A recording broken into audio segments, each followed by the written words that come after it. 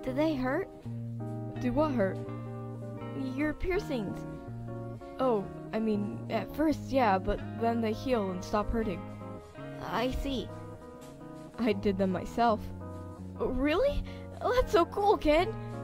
yeah, thanks. It's kind of fun, actually. D- Do you think you could do mine sometime? My ears, I mean. Hell yeah, if you want, I'd be happy to. Oh, thanks, Ken. no problem.